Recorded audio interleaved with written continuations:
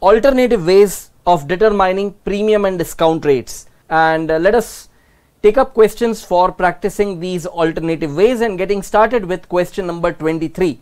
Let us read this question.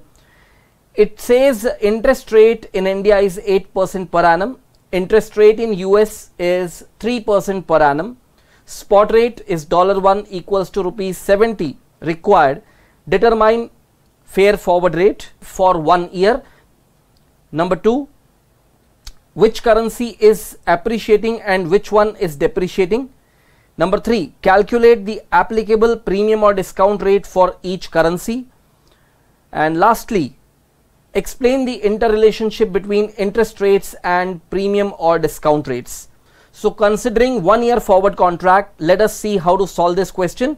Firstly you can compute FFR by applying the same formula that you have learnt spot rate into 1 plus IL divided by 1 plus IF just define all the variables substitute the values and you get the result in the form of a forward rate.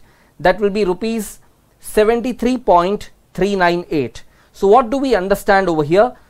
If you closely observe the spot rate for dollar is rupees 70 and one year forward rate is 73.398 so what we are finding that the forward rate is greater than the spot rate. So what we can conclude which will be the answer for the second part of the question that it is observed that dollar is appreciating against rupee and rupee is depreciating against dollar. Alright friends, after completing the calculation of fair forward rate and mentioning that dollar is appreciating against Indian rupee and rupee is depreciating against dollar, time for us to find the premium and discount rates and the question has also asked you to identify the interrelationship between the interest rates and premium and discount rates. So let us take one step at a time. We first compute the premium and discount rates.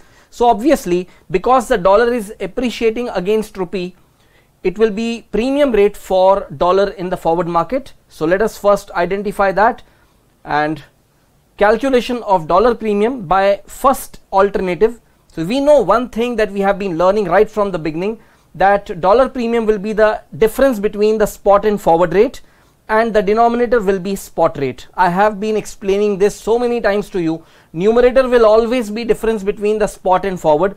Now whether you write forward minus spot or spot minus forward it will not make any difference at all. However, the denominator will be spot rate because the quote is given for dollar and you are finding the premium for dollar. Now let us just define what are these two variables f and s. So f is forward rate which we have identified or determined as 73.398 and s is spot rate that was given as 70. Applying this calculation we will be getting the premium rate for USD as 4.8544 percent per annum. Now let me show you another alternative way of computing this. Just look at this. What we can say is this calculation, if we take this as the base, what is this? Forward minus spot divided by spot, right? And how did we get this forward rate? Forward rate we have computed as a fair forward rate. There was no actual forward rate informed. So whenever the calculations are done through fair forward rate and not through the actual forward rate, then only you can identify these alternative ways of doing because I am going to substitute this f for the manner in which that forward rate was determined. So how was fair forward rate determined? How did you get this 73.398? Let me show you over here. So it was spot rate into 1 plus IL divided by 1 plus IF. So it was 70 into 1.08 divided by 1.03 this is the formula of fair forward rate correct? So this value is 73.398 if you don't agree with me pick your calculator check it out or just turn back the previous page of your notebook and you would find that you already made this calculation of FFR that is how you got 73.398 now the moment I display this automatically ideas would have creeped up in your mind already because you are finding 70, 70 and 70 over here. So even a layman can understand that from the numerator we can take 70 as common and that is what we are going to do. 70 as common. The first term will be 1.08 by 1.03 and from 70 if you have taken 70 common within brackets you will be getting minus 1 and divided by 70 and of course the numerator and denominator both containing that 70 it will just get cancelled out and what we get is 1.08 by 1.03 minus 1 and that will be giving you exactly the same result. Alright friends, once you have finished writing this calculation, let me take you ahead and show you some additional things. So dollar premium we have originally computed as F minus S divided by S. This forward rate was basically fair forward rate and how did we arrive at that? S into 1 plus IL divided by 1 plus IF and that is how we are trying to substitute this. In place of F we have taken S into 1 plus IL divided by 1 plus IF and the remaining part of the formula remains as it is. Now observe this in the numerator you can definitely take S as common.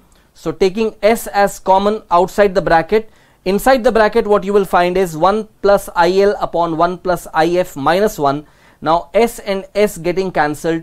Dollar premium can be simply identified as 1 plus IL divided by 1 plus IF minus 1. So this is the second alternative way. But keep in mind one thing this alternative ways are to be applied only and only when the forward rate is representing fair forward rate. Otherwise you may mess up with the calculations completely don't ever apply this when the question has given you actual forward rate separately then premium and discount rate will be just computed by taking the difference between forward and spot divide by spot or forward depending upon what kind of discount or premium you are computing and for which currency you are computing. Let me take you ahead and show you yet another way of computing the dollar premium. Now this could be 1.08 by 1.03 minus 1. So basically we have seen this 1 plus IL divided by 1 plus IF minus 1 this will give you the dollar premium. If I just take LCM 1.03 will be LCM. So what I will get in the numerator 1.08 remains as it is. So now it will be 1.08 minus 1.03 whole upon 1.03 exactly like this.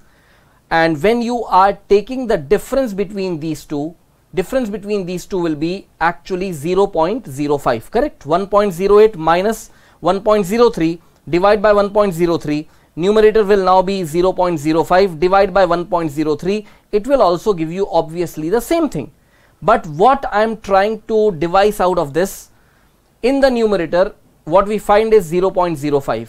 What was the interest rate prevailing in India? 8%. What is the interest rate prevailing in US? 3% and in the numerator 0.05 that is basically 5% that reflects interest rate differential between the two countries.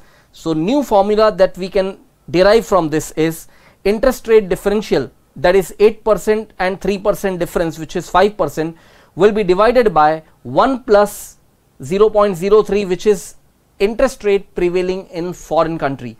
So keep in mind one thing because you are computing the premium of the foreign currency the denominator over here will be 1 plus interest rate prevailing in foreign country. Let us move ahead and take up the next part of the calculation that will be computing the discount rate for Indian rupee. So you can simply call it as rupee discount rate.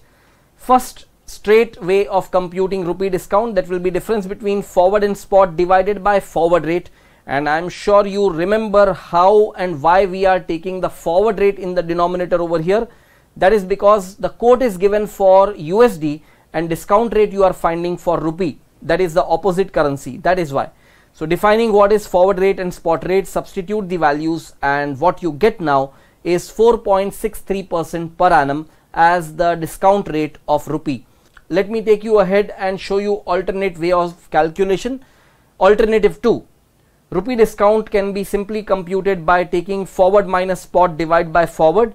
How did we get this forward rate? Because this was representing fair forward rate, I'll be putting the fair forward rate calculation base that will be 70 into 1.08 by 1.03 minus 70 divided by 70 into 1.08 by 1.03. So this is FFR formula This is FFR formula.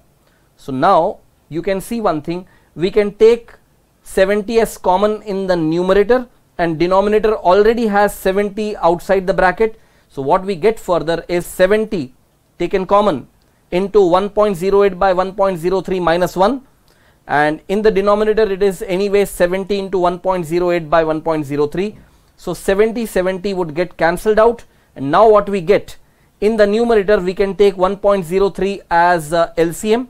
So we get 1.08 minus 1.03 divided by 1.03 that will be the numerator value denominator will remain as it is.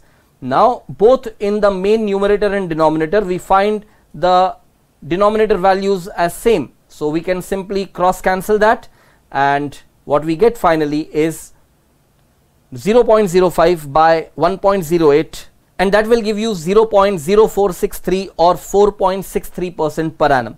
So the new formula that we devised over here was rupee discount can be computed by interest rate differential divided by 1 plus interest rate prevailing locally. Keep in mind one thing when it was dollar premium what did you do? You took interest rate differential divided by 1 plus interest rate prevailing in US. When you are computing rupee discount, you are taking the numerator as same interest rate differential, right? That is 8% minus 3%, that would give you 5%. So interest rate differential will be divided by 1 plus IL, that is 1 plus interest rate prevailing locally. Simply to remember this, what you can do, if you are computing rupee discount, use the interest rate prevailing locally if you are computing dollar premium, use the interest rate prevailing in the US. Simple as that. Let us move ahead and take up other alternative way of calculating the same. That is rupee discount can be computed by taking the premium rate of dollar divided by 1 plus premium rate of dollar. So what was the premium rate of dollar?